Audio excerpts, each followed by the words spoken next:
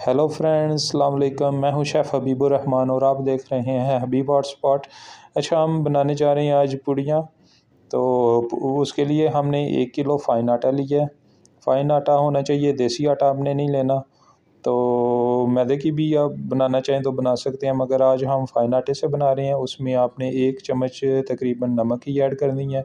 उसके बाद मैं इसमें मेल्ट हुआ हुआ तकरीबन दो से तीन चम्मच जो है बटर डाल रहा हूँ। आप चाहें तो इसमें घी भी डाल सकती हैं। मगर आपने आयल का यूज़ नहीं इसमें करना। घी या बटर, ये दो ऑप्शन है आपके पास। तो कोई सा भी आप शामिल कर सकते हैं। इसमें इससे ये है कि पूड़ियाँ जो हैं वो बड़ी अच्छी सी खस्ता बनेंगी। और, अब हम इसकी डो को हम तैयार करेंगे। डो के लिए हमने क्या करना है? ज़्यादा ही इसको नरम नहीं करना। थोड़ी सी सख्त रखनी है आपने। डो, ये देखें, डो हमारी तैयार हो गई है पूड़ियों की। ये देखें ना ज़्यादा नरम है और ना ज़्यादा सख्त है। दरमियानी अपने डो इसकी बनानी है और इसके बाद हम इसके ऊपर ग्रीस कर देंगे आयल या घी से अच्छे से, ताकि ऊपर से ये आटा हमारा खुश्क ना हो। इसलिए हम इसको ग्रीस करेंगे और तकरीबन आधे से पौने घंटे के लिए हम इसको कवर करके छोड़ देंगे, ताकि अच्छा सा इसमें हमीर पैदा हो जाए। हम इसको आधे से पौने घंटे के लिए हमने इसको डाम के छोड़ देना है। ये हमारा इसमें देखें खमीर जो है, वो बन गया है।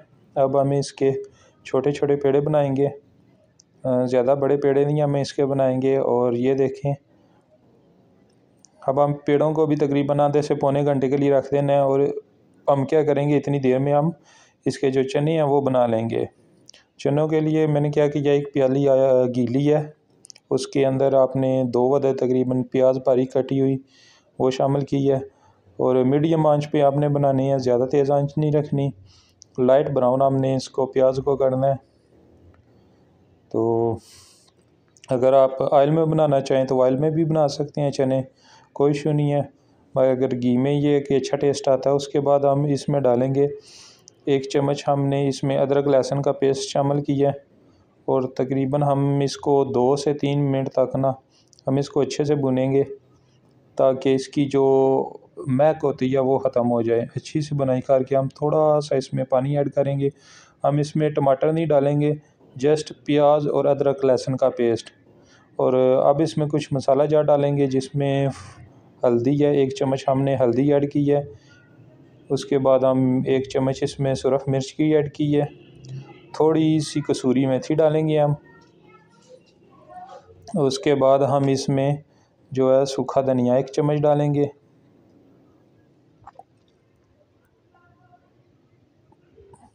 और अब हम इसको अच्छे से मिक्स कर लेंगे।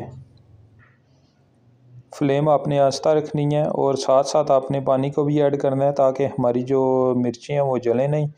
ज़्यादा तेज़ आँच नहीं आपने रखनी अच्छा सा हमारा मसाला हमारा तैयार हो चुका है। तो हम इसको अच्छे से लाएँगे ताकि नीचे ना लगे। चम्मच आपने हिलाते रहना है और आग ज़्यादा तेज़ नहीं रखनी। इस तरह जो है मसाला हमारा जल जाएगा।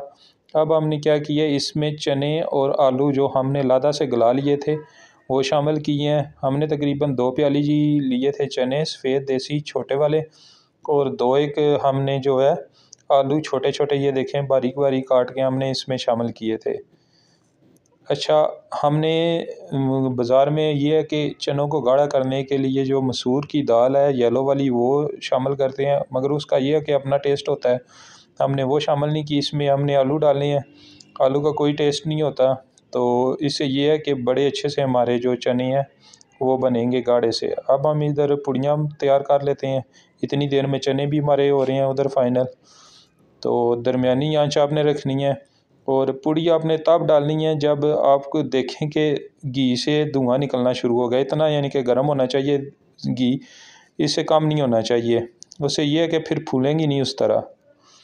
तो आपका सही आयल गर्म होना चाहिए, उसके बाद आपने जो फ्लेम है वो मीडियम कर देनी है। फुल तेज़ फ्लेम नहीं होनी चाहिए इसमें।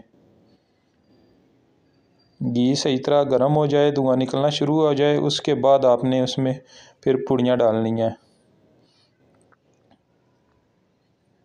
हम ज़्यादा इसको नहीं करेंगे ब्राउन नहीं करेंगे, क्योंकि जितनी ज़्यादा हम ब्राउन करते जाएँगे, उतनी फिर वो सख्त बनती जाएँगी। बस एक बार आपने इसको ऊपर इसके ऑयल डालना है उससे चमे से, और एक बस इसको बस पलटना है पूड़ी को, और हम निकाल लेंगे इसको।